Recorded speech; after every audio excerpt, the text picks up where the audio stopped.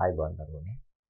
ඔන්න 10 ශ්‍රේණියමයි දරුවන්ගේ සිංහල භාෂාව හා සාහිත්‍යය පාඩම් මාලාව අපි කරගෙන යන්නේ. නේද? මේකේ වැදගත් ව්‍යාකරණ පාඩම් ටික නම් කරලා තියෙන්නේ. එතකොට ඔබට භාෂා පොතේ එන වැදගත් පාඩමක් තමයි මේ සාකච්ඡා කරන්න හදන්නේ. ඒ මං තනන්නෝ කියන කෙටි කතාව ගැන උගන්නලා නේද? ඊට කලින් ඔබට මං කියා දෙනවා ඔබට සාහිත්‍යයට අතිශයින්ම වැදගත් එකක් තමයි කෙටි කතාව කියන්නේ මොකක්ද කියන දැන. කෙටි කතා කලාව ගැන කතා කරන්න ගියාම ඔබට සාහිත්‍යය 10 ශ්‍රේණියෙන් එහාට ගියාම 11 දී ඔබට තියෙනවා දියමන්ති මාලය. අපටත් වැසි කෙලයක්. ඔන්න ඔය කෙටි කතා දෙක ඉගෙන ගන්න තියෙනවා.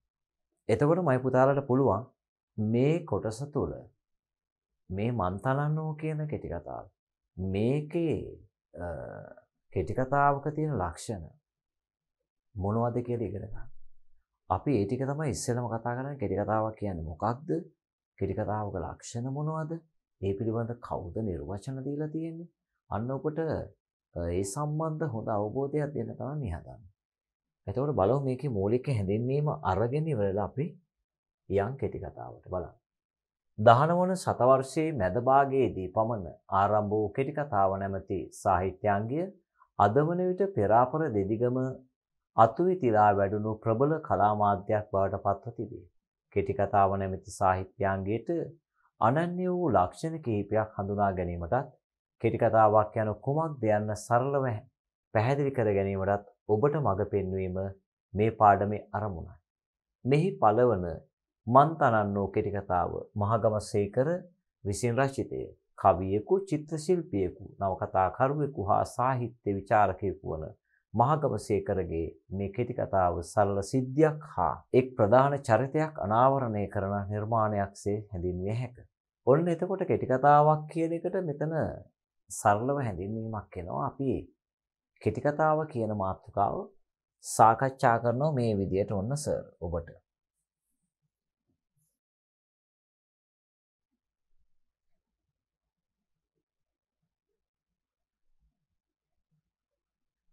මේ විදියට.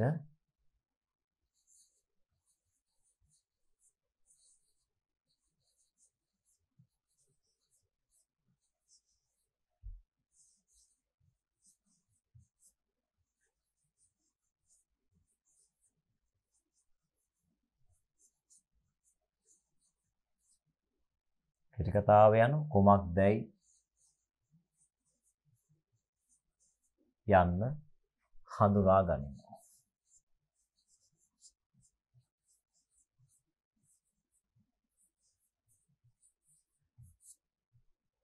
right දැන් කෙටි කතාව ආරම්භය 19 වෙනි සියවසේ මැද භාගයට යනවා. කෙටි කතාව යන කුමක්දයි යන්න හඳුනා ගන්නට පෙර ඒකේ සම්භවය කොහෙද සිදු වුනේ? ආරම්භයේ සිදුවන කොහෙද? යුරෝපය තුල. පැහැදිලි. මාටි වික්‍රමසිංහ සූරයෙන් කියන්නේ මෙහි ආරම්භ වුණා කියලා. උලට බොහෝ අයගේ ਵਿਚාරක මතය තියෙන්නේ. මේක බටහිර ආරම්භ වෙලා මෙහාට ආවා කියලා. විශේෂයෙන් 1964 දී මහාචාර්ය විමල් දිසානායක මහත්මයා කුරුණෑගල පැවති සාහිත්‍ය සම්මේලනයකදී සුපැහැදිලි කරනවා කෙටි කතා කලාව සහ නවකතා කලාව සම්භවය වූයේ යුරෝපයේ. ඒ යුරෝපයෙන් ආරම්භ වෙලා මෙහෙට ඇවිල්ලා රෝපණය වුණා කියලා මේ කලා මාධ්‍ය දෙක. පැහැදිලිද? එතකොට ওই දෙකම ඔබට ඉගෙන ගන්න තියෙනවා. මොකක්ද? කෙටි කතාව සහ නවකතාව. ඒතර මෙන්න මේකෙන් මම දැන් ඔබට කතා කරන්න හදන්නේ මොකද? කෙටි කතාව කියන්නේ මොකද්ද? ඒක ආරම්භයේ මොන කාලයකද යන්නේ? මේකේ පුරෝගාමී අර්ථකථනය දීලා තියෙන කවුද? ඒ සම්බන්ධ අර්ථකථන මොනවද? පැහැදිලි. ඔන්න එහෙනම් කෙටි කතා කලාව ගැන කතා කරනකොට මේක ආරම්භ වුණේ අපි සාරාංශයක් අරගමු. ආරම්භ වුණේ යුරෝපයේ තුල. කොහෙද?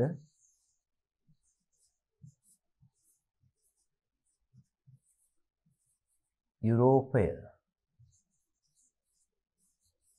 තුල කෙටි කතාව ආරම්භ වෙනවා. කෙටි කතාව ආරම්භ වීම.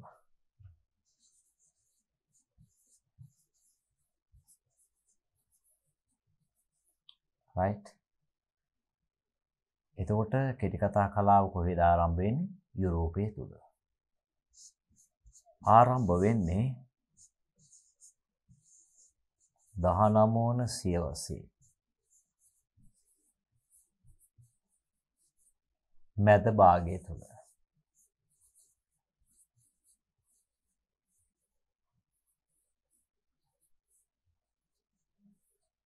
කෙටි කතාව ආරම්භ වෙන්නේ යුරෝපය තුල යුරෝපය තුල කෙටි කතාව ආරම්භ වීම 19 වන සියවසේ මැද භාගයේ.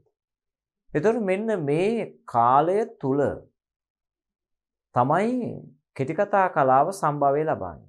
එහෙනම් ඈතට යන කොහෙද? 19 වෙනි සියවසේ මැද භාගයේ තෙක් ආරම්භ වෙනවා. එතකොට මේක ආරම්භ වුණේ බොහෝ විචාරක මතයේ තියෙන්නේ යුරෝපයේ තුල ආරම්භ වුණා කියලා. එතකොට මෙහෙම ආරම්භ වෙච්ච කෙටි කතා කලාව පිළිබඳ පෙරාපර දෙදිග පණිවරු විවිධාකාරයේ නිර්වචන ඉදිරිපත් කරනවා. පැහැදිලිද? විවිධාකාරයේ නිර්වචන ඉදිරිපත් කරනවා. ඒතර මේ නිර්වචන අතරින් කෙටි කතා කලාව පිළිබඳ පළමු නිර්වචනය ඉදිරිපත් කරන්නේ ඇමරිකානු ජාතික එඩ්ගා ඇලන් ෆෝ. කවුද පුතේ? ඇමරිකානු ජාතික එඩ්ගා ඇලන් ෆෝ තමයි මේ අර්ථකථනය දෙන්නේ. ඔහු පැහැදිලි කරනවා එක හුස්මට කියවා හමාර කළ හැකි ගද්‍යමය වාක්‍ය ඛණ්ඩය. එක හුස්මට කියවා හමාර කළ හැකි ගද්‍යමය වාක්‍ය ඛණ්ඩය කෙටි කතාව කියලා කියනවා. මොකද්ද මම පුතාලා කියන්නේ? එක හුස්මට කියවලා හමාර කරන්න පුළුවන් ගද්‍යමය වාක්‍ය ඛණ්ඩය තමයිලු කෙටි කතාව. කවුද මේ නිර්වචනය දෙන්නේ? මොන ජාතිකයේද? ඇමරිකානු ජාතික. නේද? මොනෆෝද? Edgar Allan Poe. මොනෆෝද?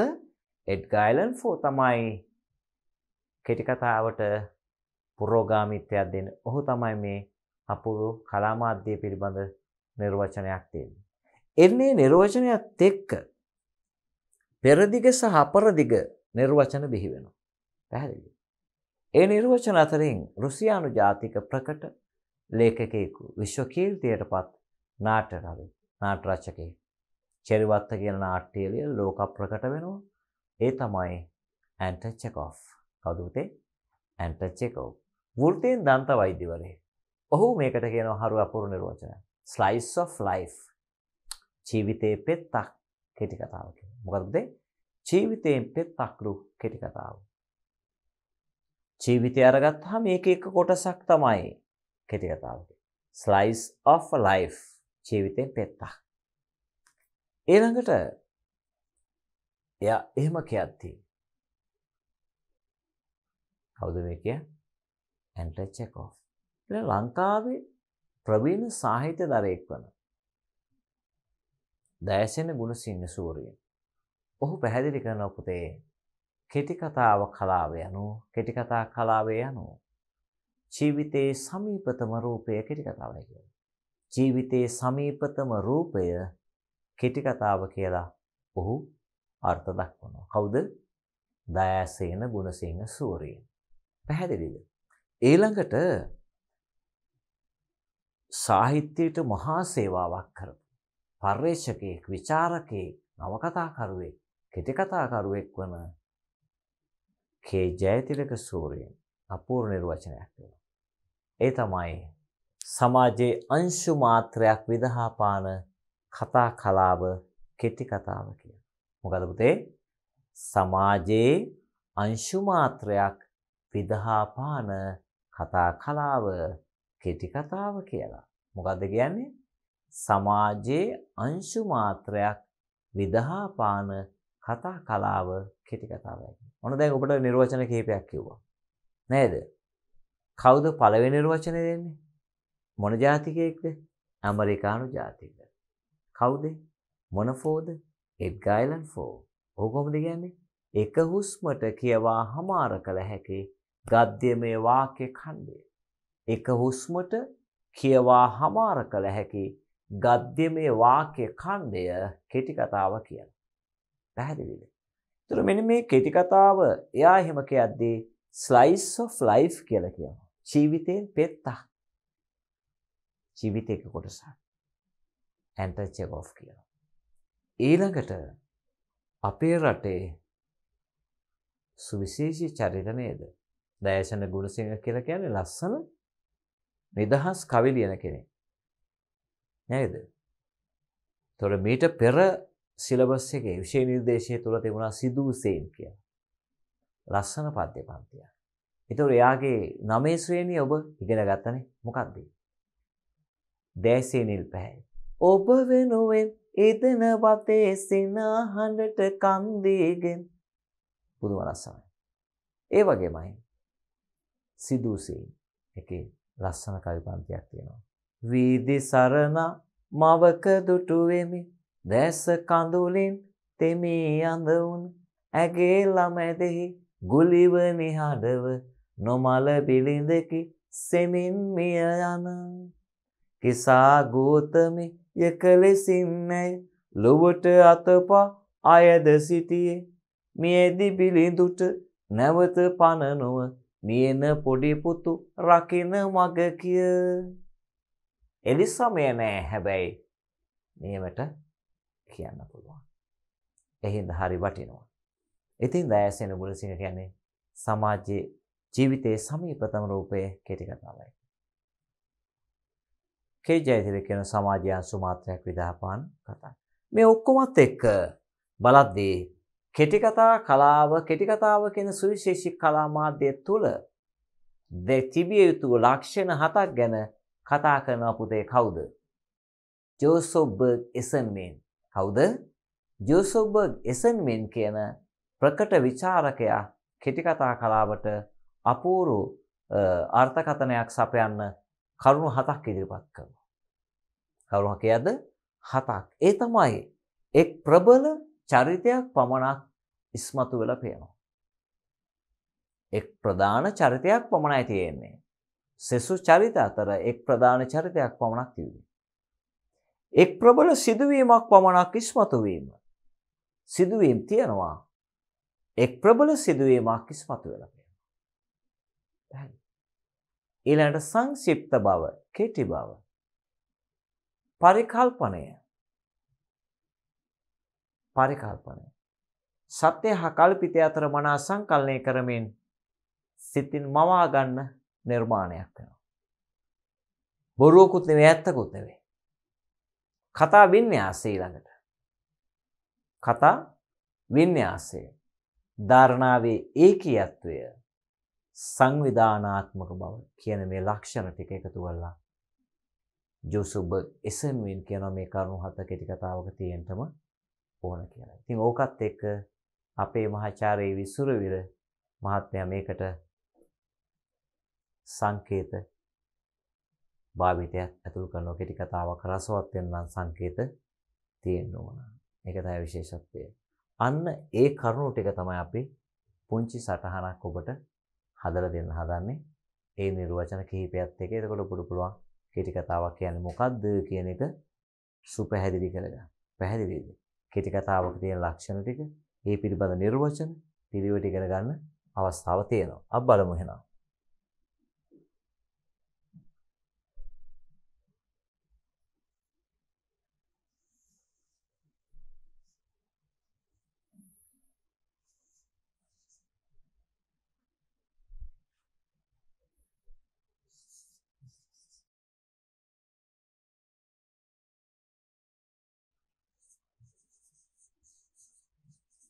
යන කලා මාධ්‍ය කලා මාධ්‍ය දෙස.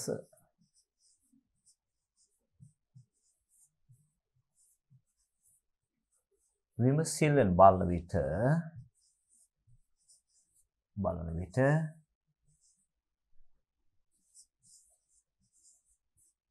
එහි සම්භවය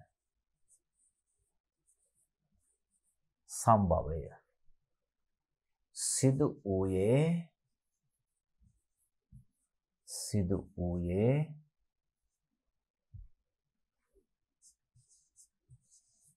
දහනමෝන සියවසේ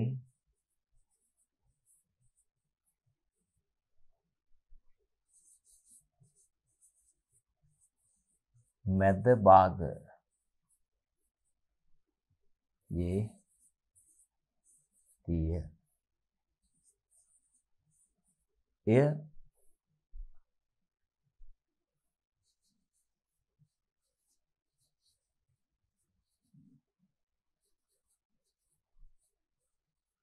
ආරම්භ වූයේ යුරෝප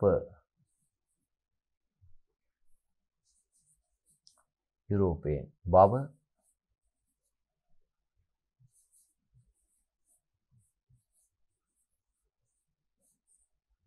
බොහෝ විචාරකයන්ගේ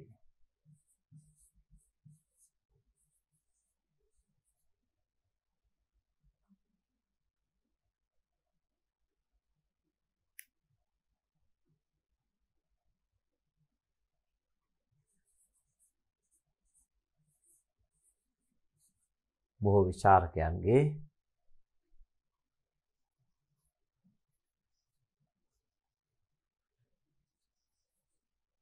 මතය වී තිබේ.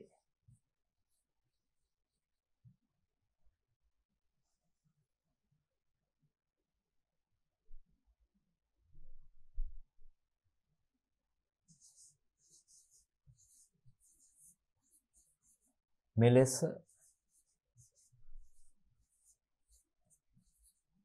යුරෝපය තුළින්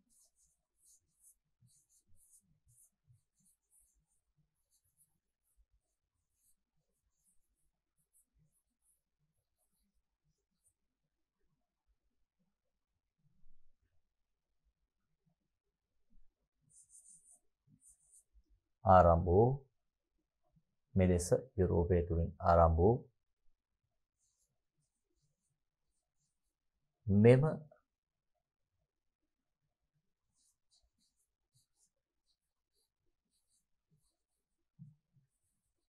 සුවිශේෂ කලා මාධ්‍ය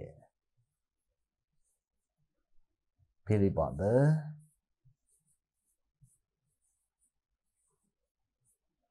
පිළිබඳ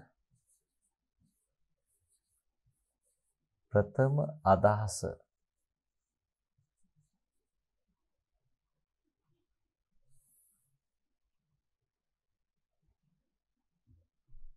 දහස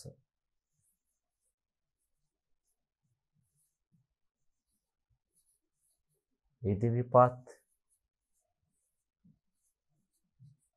කරනු.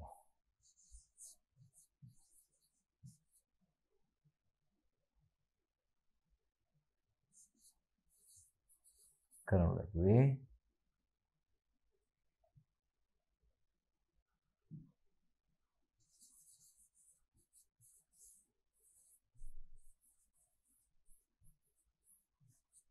ඇමරිකානු ජාතික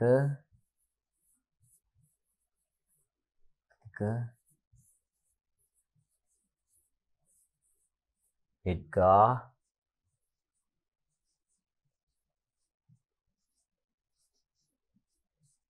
එලන් ෆෝ විසිනි කවුතේ ඇමරිකානු ජාතික එඩ්ගා එලන් ෆෝ විසින්.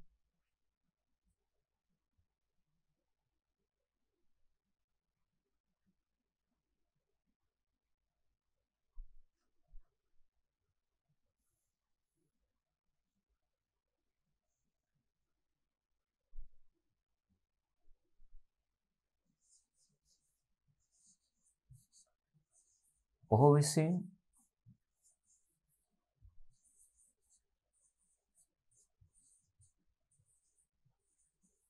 ඉදිරිපත් කළ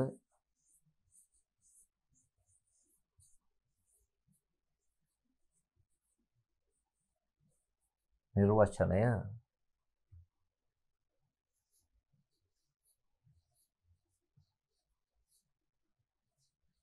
එසේ.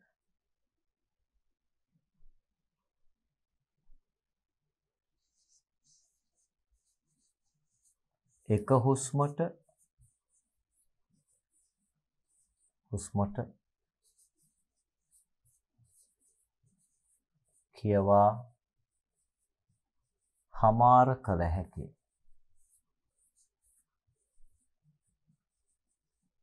කළ හැකි.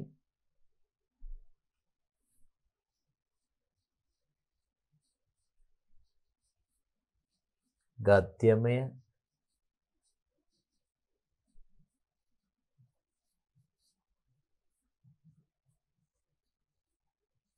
වාක්‍ය ඛණ්ඩය එක හුස්මට කියවා හමාර කළ හැකි.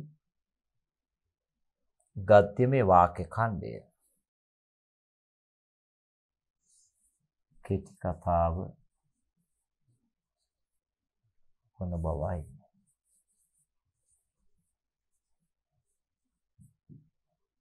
දැන් බලන්න.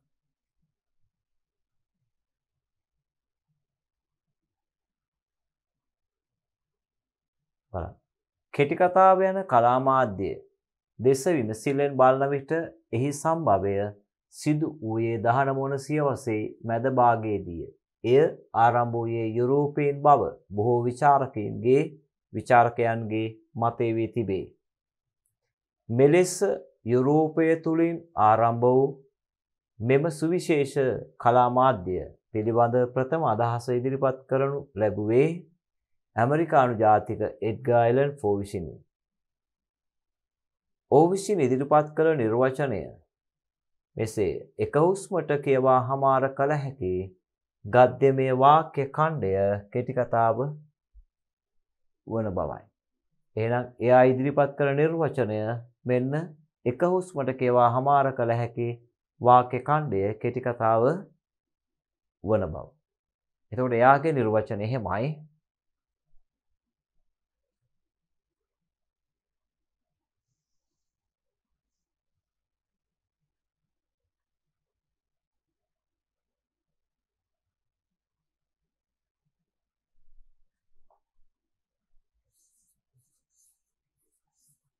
මෙම නිර්වචනයෙන් පසු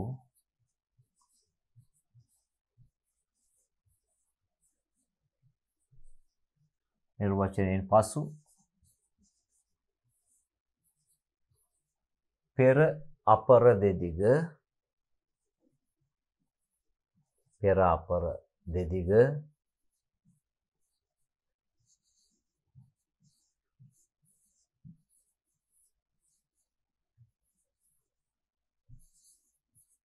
චාරකයන් විසින්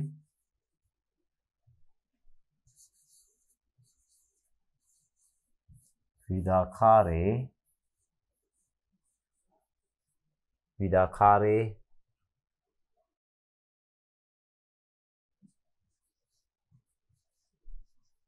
නිර්වචන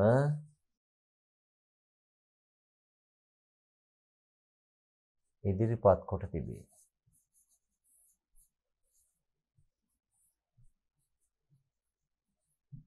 පෙර අපර දෙවිග පඩිවල right?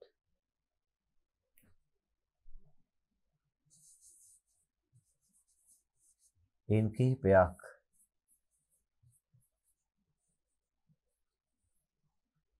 කිහිපයක්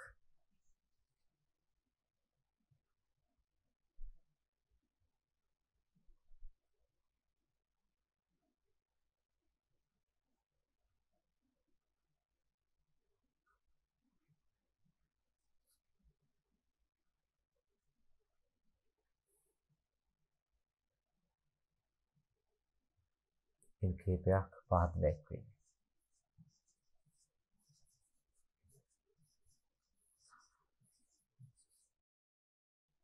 රයිට් පෙරාපර දීග පඩිවරුන් විශාරකී මේ පිළිබඳ අදහස් ඉදිරිපත් කළ තියෙනවා. ඉන් කිහිපයක් අපි ගන්න මේ විදියට.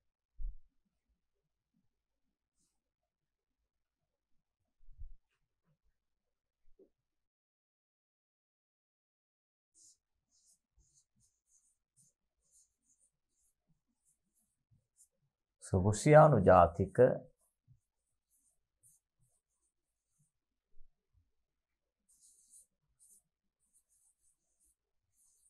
ප්‍රකට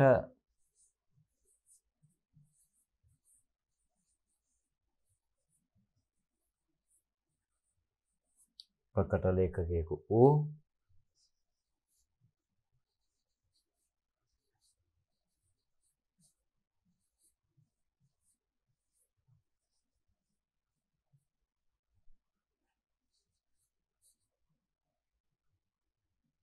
Anton Chekhov විසින්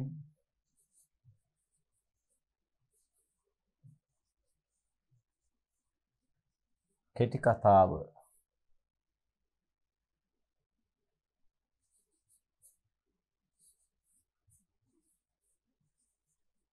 පිළිබඳ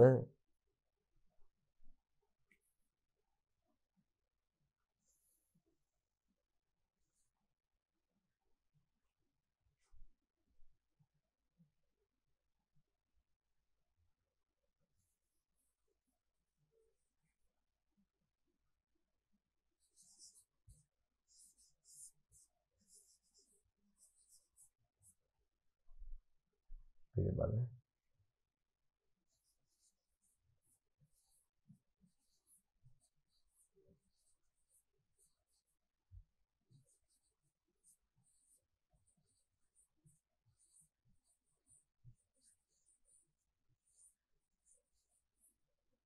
නිර්වචනය කර තිබෙන්නේ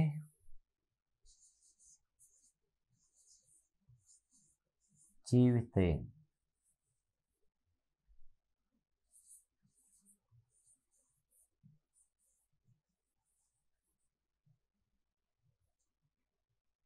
ජීවිතෙන් පෙත්තක් යනුවෙනි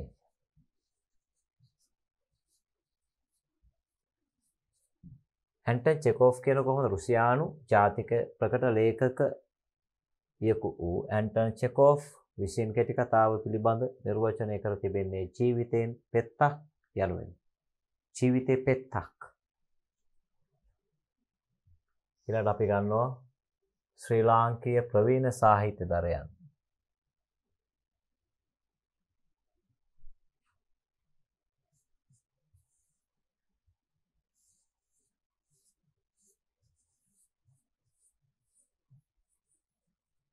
ශ්‍රී ලාංකේය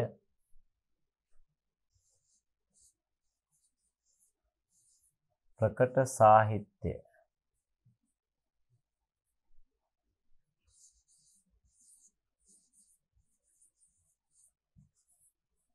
දරයෙකු වූ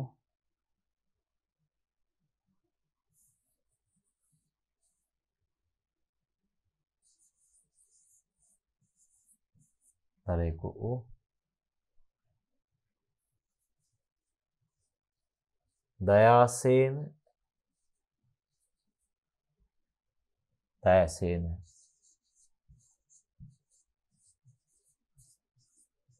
ගුණසිංහ සූරීන්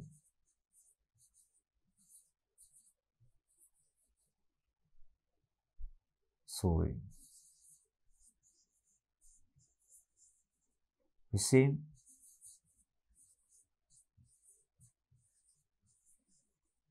ඉදිරිපත් කර තිබෙන්නේ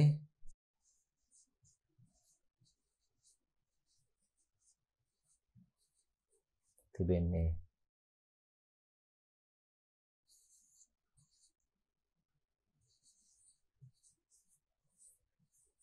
ජීවිතයේ සමීපතම රූපය. සමීපතම රූපය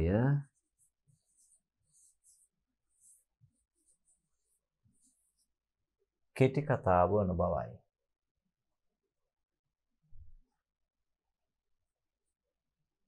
කෙටි කතාව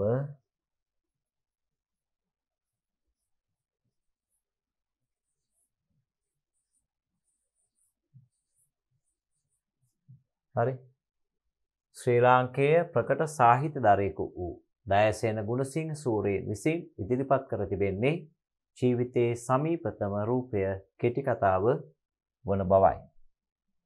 අපි යනවා ඊළඟට ඔබගේ පෙළ පොතේ තියෙනවා 11 ශ්‍රේණියට එනකොට මොකද්ද? අපටත් ඇසිකෙලියක්. අන්න.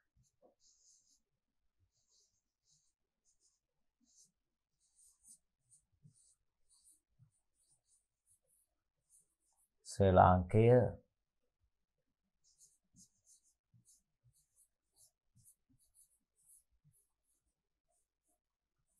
සාහිත්‍යයට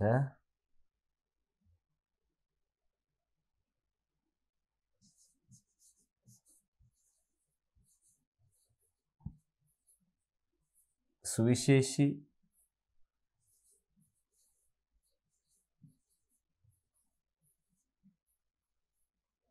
මෙහෙවරක්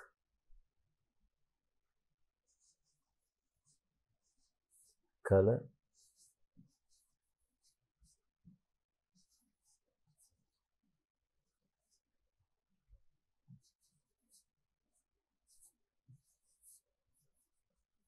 කේ ජයතිලක කේ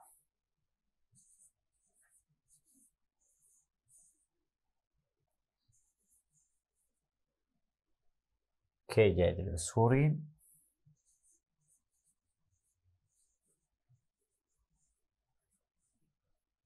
කෙටි කතාව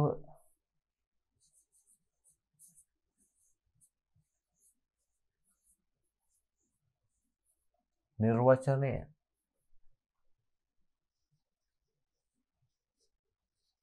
කර තිබෙන්නේ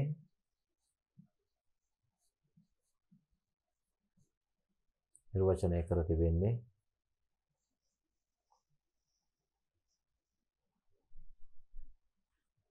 සමාජයේ අංශු මාත්‍රයක්. සමාජයේ අංශු මාත්‍රයක්. මාත්‍රයක්.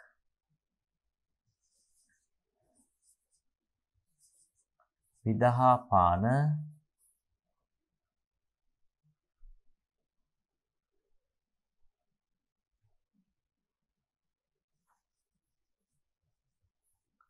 කතා කලාව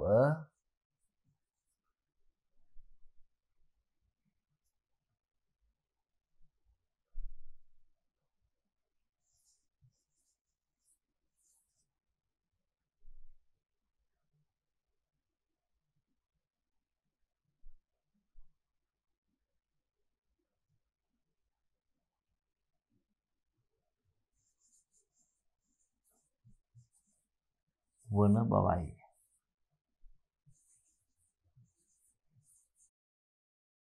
දැන් ඔබට පේනවා මේ පිළිබඳ විවිධ අය විවිධ මත පළ කරලා තියෙනවා. පැහැදිලිද? කෙටි කතාව පිළිබඳ එක එක්කෙනා එක එක අදහස් දක්වලා තියෙනවා. හැබැයි දක්වපු හැම අදහසකම ওই විදිහට අපිට පේන්නේ සමාජය තුල ඒ කියන්නේ කෙටි කතාව තුල කෙටි බවක් තියෙනවා. සංක්ෂිප්ත භාවයක් තියෙන්නේ. පැහැදිලිද? එතකොට ඒ කොහොම නමුත් කෙටි කතාව පිළිබඳ කරුණු හතක් ඉදිරිපත් කරනවා බටහිර ප්‍රකට විචාරකයෙකු වන ජෝසොප් බර්ග් එසන්. අන්න එක තමයි පිළිගන්නේ මේකට. වර්තමානයේ වන විට කෙටි කතාව පිළිබඳ අපූර්ව නිර්වචනයක් ඉදිරිපත් කොට තිබෙන්නේ. කෙටි කතා කලා පිළිබඳ අපූර්ව නිර්වචනයක් ඉදිරිපත් කරපු කෙනෙකු විදිහට සැලකෙනවා ජෝසොප් බර්ග් එසන්. එයා කරුණු හතක් පාදක කරගෙන තමයි කෙටි කතාවට නිර්වචනයක් හදන්නේ ඒ කියන්නේ කරුණු හතක් තියෙන්න ඕන කියලා එයා කියනවා. මෙන්න මෙහෙම අපි ගන්නවා.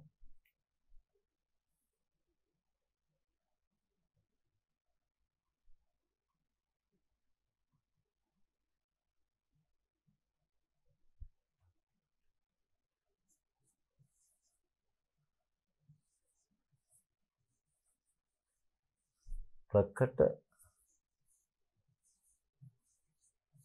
බටහිර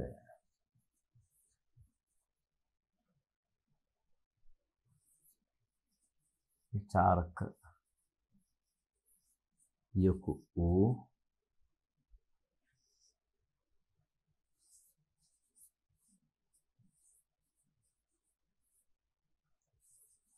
Joseph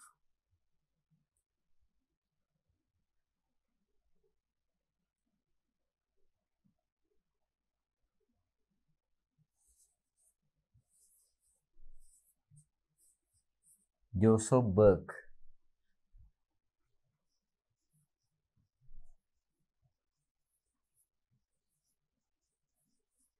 Joseph Burke. එසන්වින්.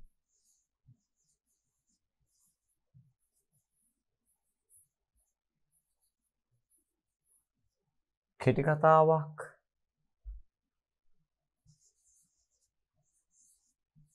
වීමට නම්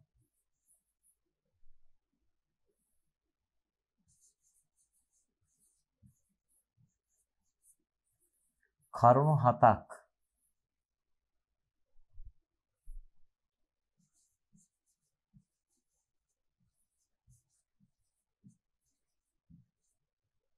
සම්පූර්ණ විය යුතු බව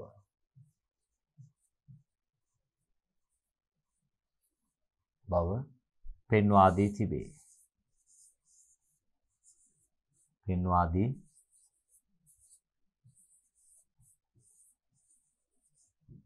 තිබේ. පැහැදිලිද? කරුණු කීයක්ද? හතක් ඉදිරිපත් කරනවා ජෝසුබ්බර්ග් එසෙනුවේ. ප්‍රකට බටහිර විචාරක යෙකු වූ ජෝසොබ්බර්ග් එසන්වෙන් කෙටි කතාවක් වීමට නම් කරුණු හතක් සම්පූර්ණ විය යුතු බව පෙන්වා දී තිබේ. එම කරුණු හත මෙසේය.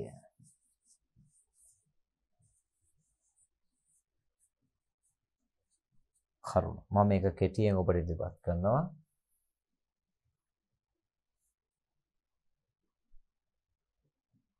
එම කරුණු හත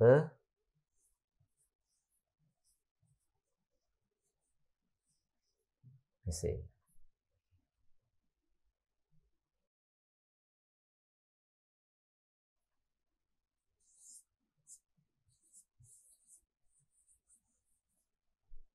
එක් ප්‍රධාන චරිතයක් පමණක්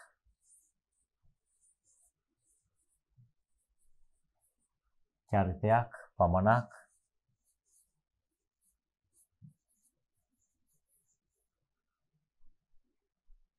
ඉස්මතු වී තිබීම. එක් ප්‍රධාන චරිතයක් පමණක්.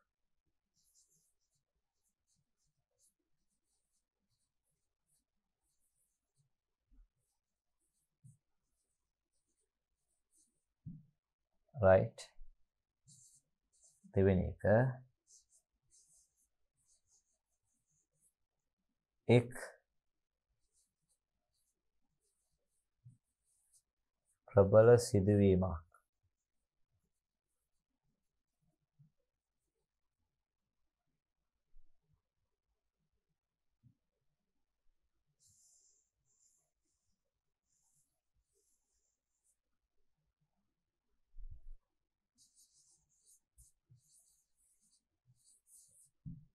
එක් ප්‍රබල සිදුවීමක් පමණක්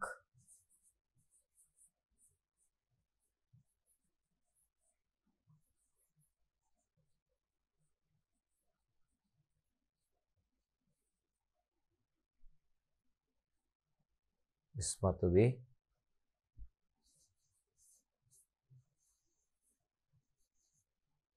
තිබීම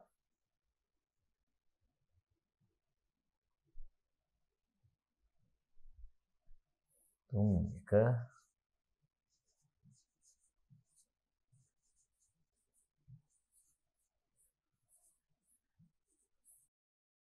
සංක්ෂිප්ත බව ඒ කියන්නේ කෙටි බව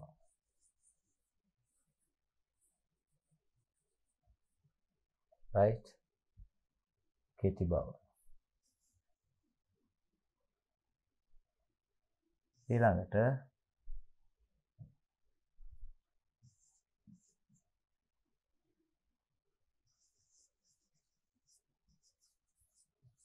කතා වින්‍යාසයක් තිබීම.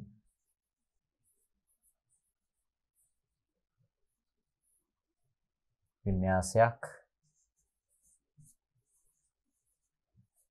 තිබීම.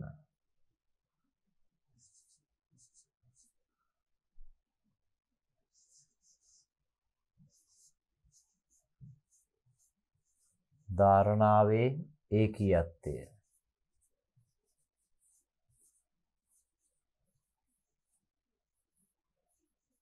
ධාරණාවේ ඒකීයත්වය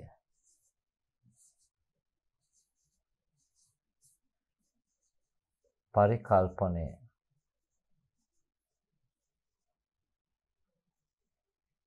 පරිකල්පනය. සංවිධානාත්මක බව.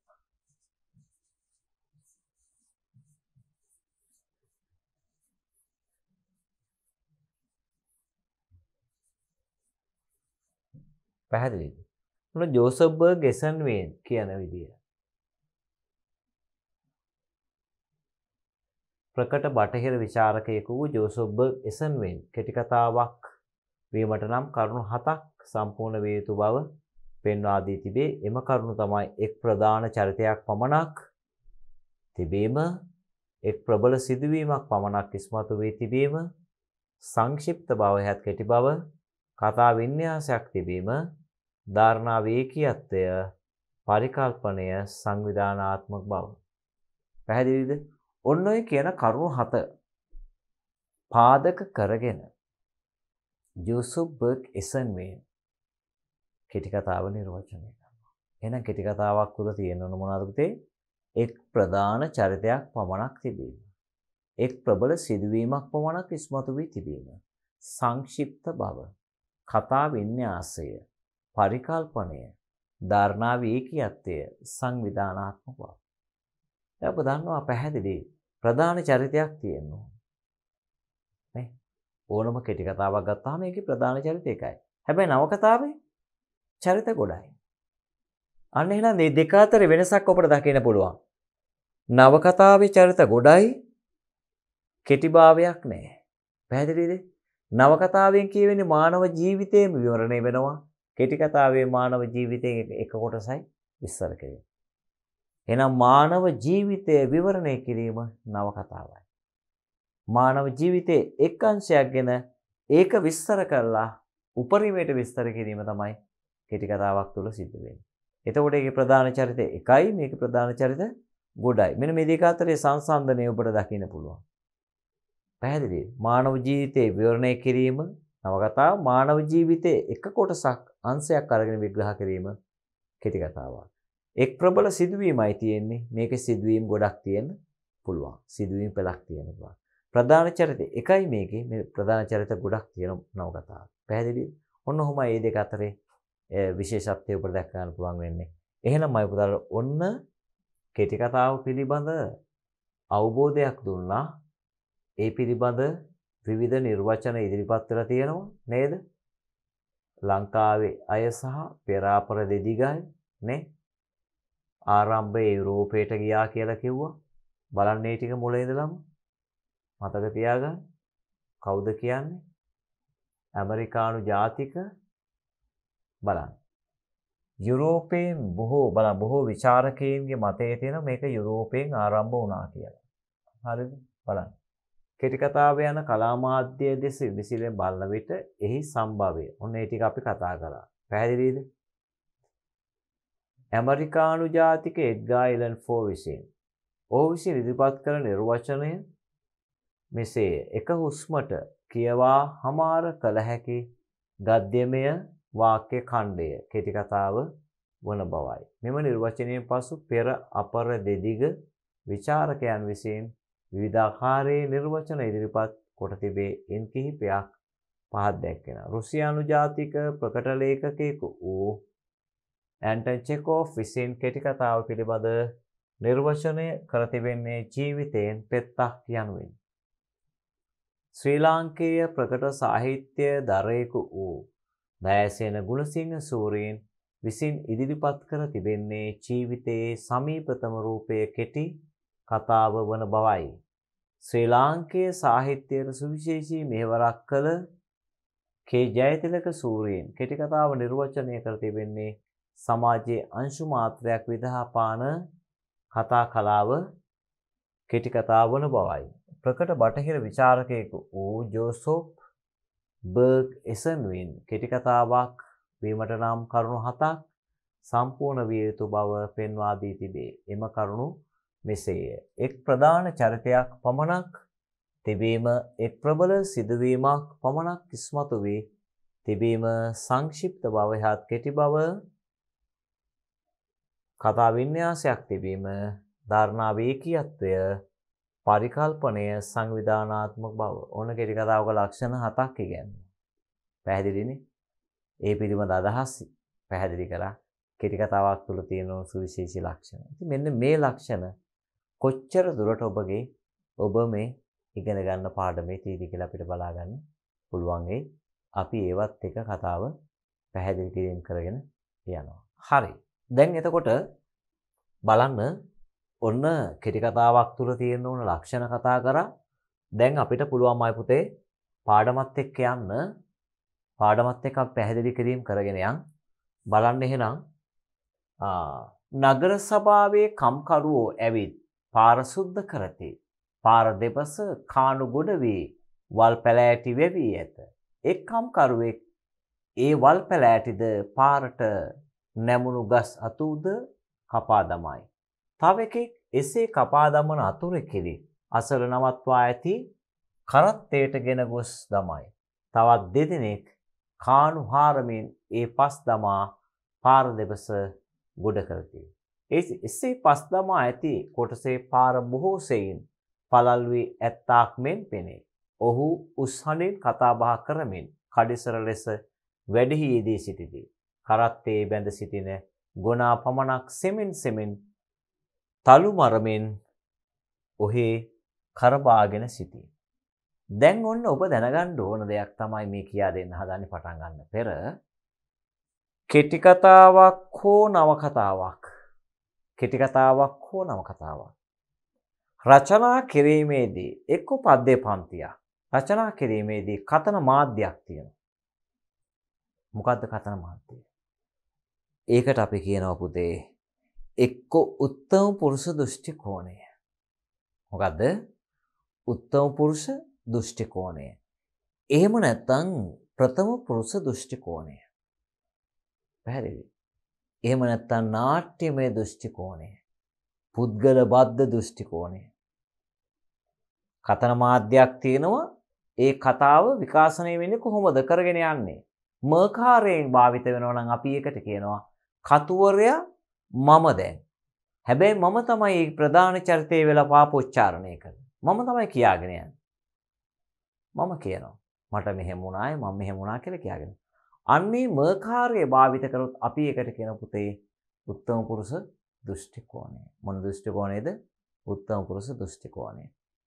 හැබැයි මම කියනවා කවුරු හරි ලවා කියවනවා. පැහැදිලි. කාගේ හරි නමක් පාදක කරගෙන කියාගෙන යනවා. දැන් සියදෝරිස් මෙන්න මෙහෙමයි සියදෝරිස් මේ වගේ මේ වගේ කෙනෙක් කොහොම කියලා විස්තර කරගෙන යනවා.